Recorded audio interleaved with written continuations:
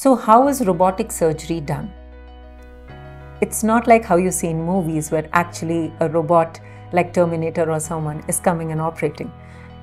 Robot, robotic surgery or robot assisted surgery is actually when there is a minimally invasive surgery where the robot robotic arms are actually going inside the abdomen and helping you do the surgery. The robot is completely um, operated by a surgeon itself. There are no parts of the surgery which are done only by the robot or autonomously.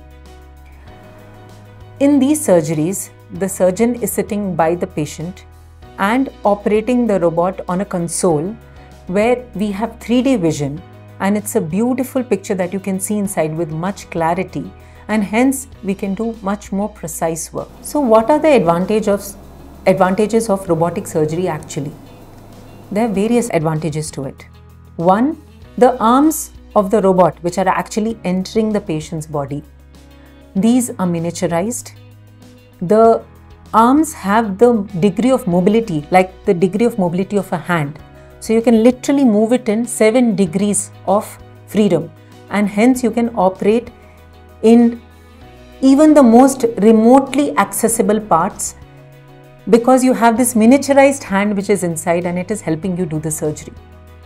Even the energy sources which are used in a robot are actually much superior. Hence, the bleeding control and the precision of the surgery increases massively.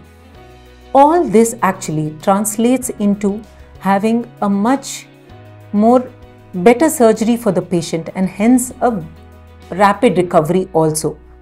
The pain, the uh, complications associated with the surgery, all these reduce drastically because of the robot assisted surgery which has been done.